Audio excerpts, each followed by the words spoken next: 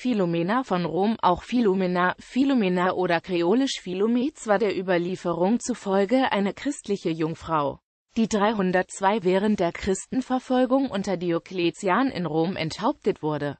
Die heilige Philomena ist Patronin der Kinder und Kleinkinder, der werdenden Mütter, der Gefolterten und Gefangenen. Leben Nach der von Pfarrer de Lucia verfassten Lebensbeschreibung war Philomenas Vater ein griechischer König, der sich zum Christentum bekehrt hatte. Kaiser Diokletian wollte Philomena heiraten, die aber ablehnte, da sie als geweihte Jungfrau die Ehelosigkeit um Christi willen gelobt hatte. Der Kaiser ließ Philomena geißeln, mit Pfeilen beschießen und mit einem Anker um den Hals in den Tiber werfen. Doch sie wurde immer wieder wunderbar errettet. Schließlich wurde sie enthauptet. Verehrung Am 25. Mai 1802 wurde in den Priscille-Katakomben in Rom das Grab einer jungen Frau gefunden. Auf drei Ziegelplatten stand die lateinische Inschrift Lumena Pax Te Cum Fi. Die Reihenfolge der Platten war offensichtlich vertauscht. Richtig angeordnet heißt es Pax Te Cum Fi Lumina Friede sei mit dir, Philomena. Die Symbole auf den Tafeln wurden als Palmzweig, Pfeile, Anker und Lilie gedeutet. Neben ihrem Kopf fand man ein gläsernes Salbengefäß und hielt dessen Inhalt für Blutreste. Daraus schloss man, dass es sich um Reliquien einer Märtyrin namens Philomena bzw. Philomena handeln müsse. Pfarrer Francesco de Lucia ließ die Reliquien im Juni 1805 nach Neapel bringen. Regen nach langer Dürre und Krankenheilungen wurden Philomena als Wunder zugeschrieben.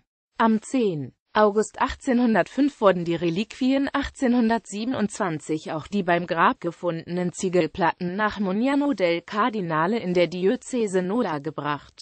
Die Ordensschwester Maria Luisa di Gesù und andere behaupteten, durch Privatoffenbarungen das Leben Philomenas erfahren zu haben. Diese Biografie wurde durch Pfarrer de Lucia noch ausgeschmückt. Die Verehrung breitete sich rasch in Italien und vor allem in Frankreich aus. Besonders Pauline Maria Richelt, die am 10. August 1835 am Grab Philomenas von einer schweren Krankheit geheilt worden war, und der heilige Pfarrer von As, Jean-Marie Vianney, förderten die Verehrung Philomenas. Gleichzeitig gab es im 19. Jahrhundert auch Stimmen, die dies kritisierten.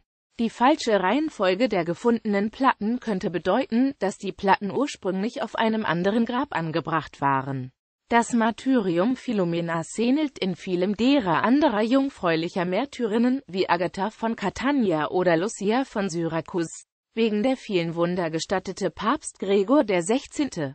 1834 die Verehrung und führte 1837 den Gedenktag Philomenas ein.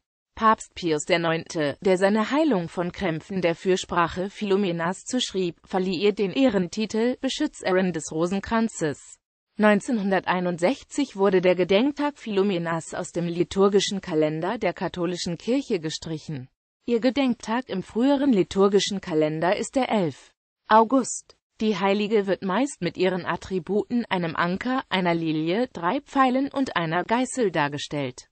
Gemeinschaften, die nach der Heiligen benannt sind arme Töchter der heiligsten Jungfrau und der heiligen Philomena, gegründet 1835 bei Poitiers, Frankreich. Erzbruderschaft der heiligen Philomena, gegründet 1884 als Gebetsgemeinschaft in Paris.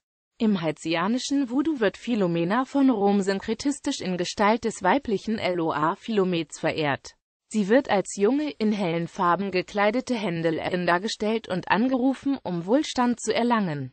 Bisweilen wird sie auch als Frau, die Negatives mit einem Besen beseitigt, dargestellt. Ihr wird zugeschrieben, Menschen im Traum Geheimnisse zu verraten und fast nie Besessenheit zu bewirken.